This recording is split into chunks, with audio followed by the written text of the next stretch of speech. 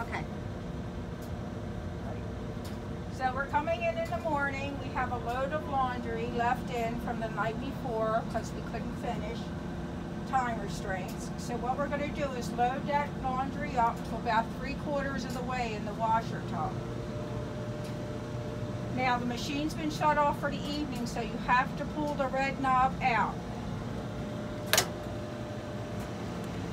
It'll take a couple seconds for it to come on. Have to wait for a click. You'll hear a door click next.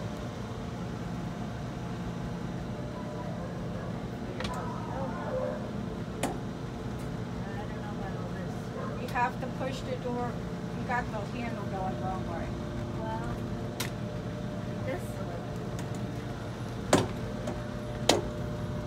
What the heck? Okay. Okay, so it's on. We're going to make sure that we're using cycle 19. Yes. Okay, so you're going to press the green button until you see that little round basket come up. Then you're going to push the blue soap button. So what? It has to be green to let you know that soap's going in there. In the morning, always check soap in the back of the machine to make sure you have enough soap to wash your clothes for the day.